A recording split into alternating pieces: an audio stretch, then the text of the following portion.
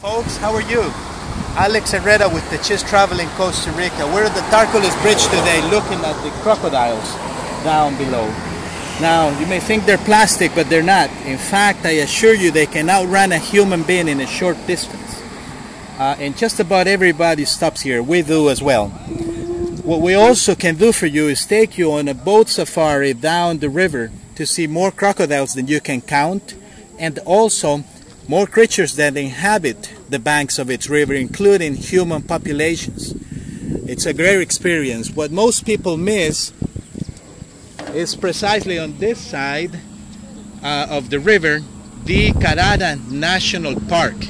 Carara is very special because not only does it hold its own species, but also species from the South Pacific, which is a tropical rainforest, species of the north, which is a tropical dry forest, and also species of the cloud forest, which it is a part of.